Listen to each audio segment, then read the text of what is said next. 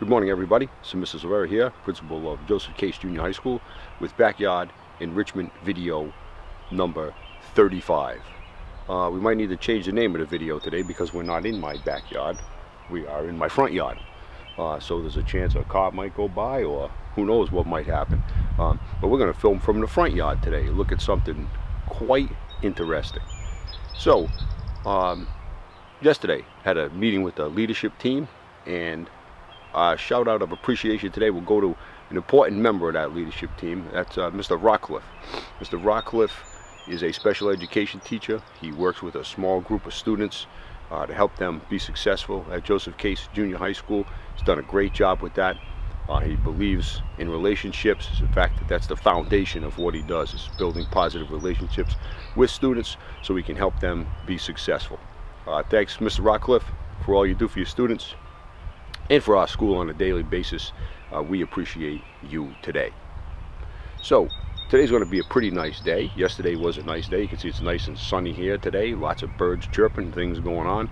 Um, and today will be a day similar to that. A little bit more breezy perhaps, um, but sunny and definitely a day that we can get outside. Yesterday we did some work on the pool deck, which is something that we've been doing, and we're going to continue to try to get that job done. I'll show it to you uh, when it's all complete. After dinner, we played uh, some wiffle ball in the yard. We also had a basketball game, me and Jake and Cole. Uh, get a little after dinner exercise, and we had some fun doing that. Well, this stretch of nice weather, I'll let you get outside a lot. And me and Mrs. Silver were outside in the yard the other day, um, and I was looking at the oak trees, which most of our trees we have around here are oak trees, and I, I noticed something very interesting. And I said, yep, we're going to figure out a little bit more about that we are going to get that into a backyard enrichment video because this is something in our neighborhoods that abounds. Oak trees are everywhere, and so everyone's seeing this right now. Um, but do we know what it is? Do we know what the purpose is? That's what we're going to figure out today. Backyard enrichment 35. Let's have a look. This is the northern red oak, Quercus rubra. Northern red oak is widely distributed throughout much of the eastern United States and southeastern Canada. It grows from Quebec, Ontario, Nova Scotia, and New Brunswick southward to southwestern Georgia, Alabama, northern Mississippi, northern Arkansas, eastern Oklahoma, Minnesota and Iowa, south through eastern Nebraska and Kansas to eastern Oklahoma. It also grows in southwestern Louisiana and western Mississippi. Yellow dangling clusters seen here are catkins, more technically known as aments. This is the same sort of structure we saw on the aspen earlier in the spring. Catkins are clusters of male flowers.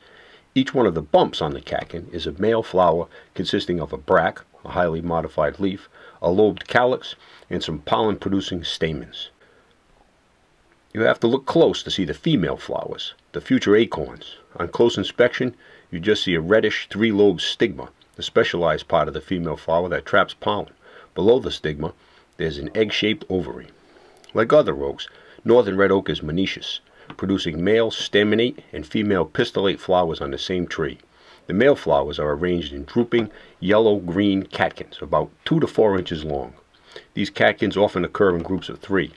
Male catkins are produced from the axils of last year's leaves towards the tips of twigs. Individual male flowers are less than 1 8 inch across, consisting of several stamens the male fertilizing organ of the flower, and a calyx, the sepals of the flower. They are partially hidden by hairy bractlets. Individual female flowers are produced either individually or in clusters of two to five. Each female flower is about an eighth of an inch across, ovoid in shape, consisting of an ovary with curved stigmas, the portion of the flower that catches pollen. This is surrounded by a form-fitting calyx. Underneath each female flower are several bractlets. The short blooming period occurs from mid-spring to late spring, either shortly before or during the unfolding of the spring leaves. Once the stamens have released their pollen into the air, the entire catkin will fall from the tree. Afterwards, female flowers are replaced by acorns that take two years to develop. The acorns occur individually or in groups of two to three on short stalks about a quarter inch in length or less. The body of the acorn or the nut is brown to reddish brown and smooth. The meat of the nut is white and bitter. Oak is one of the most popular woods used in furniture and flooring in the United States. It has a long history of use around the home, dating back to pre-colonial times, and remains every bit as popular today. One of the reasons why oak can take on so many different looks is that there isn't a single type of oak tree. There are actually more than 60 varieties growing across the United States. Get out in the yard today, take a close look at the male and female flowers of the oak tree.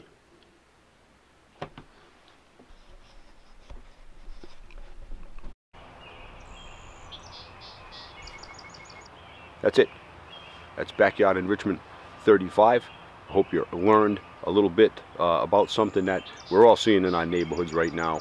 And uh, it is actually very, very interesting.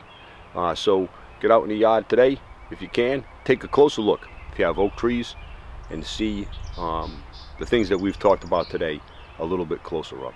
You can learn something new every day. That's what the Backyard Enrichment video is all about. Thanks for joining us today. We're all Cardinals. We're all in this together. Have a great day, everybody.